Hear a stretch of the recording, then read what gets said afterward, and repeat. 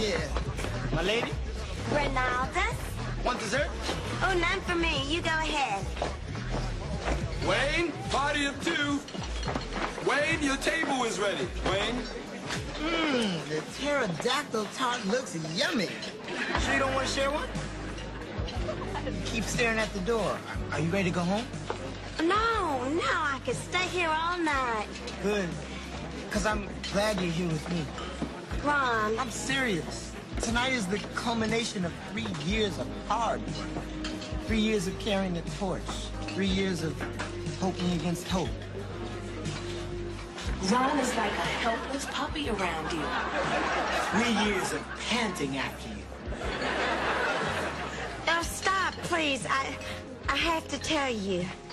You've been such a gentleman. I don't have to be. No, really.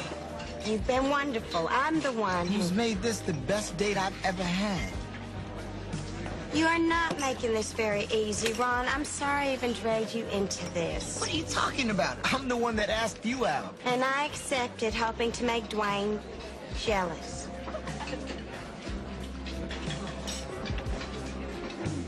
But you baked me cookies.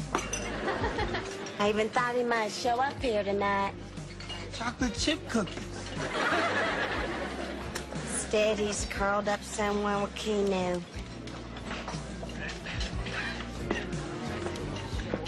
Well, I'm sorry, Ron. So am I. Can you forgive me? Is there anything I can do?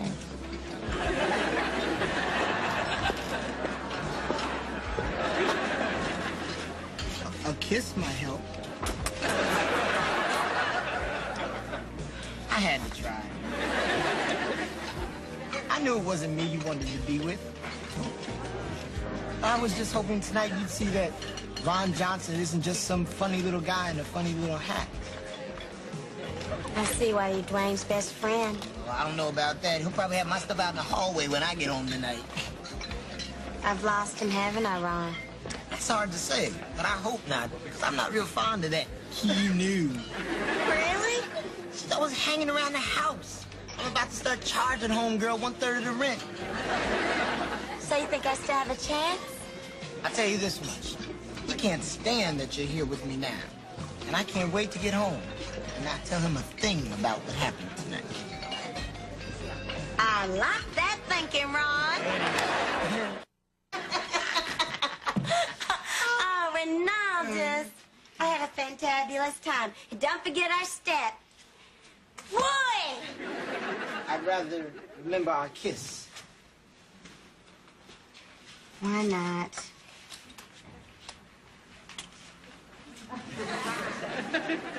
So that's how it is. That's how it is.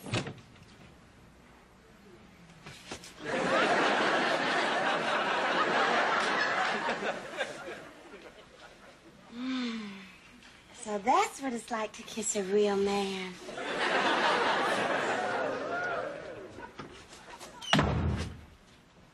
She wore me out.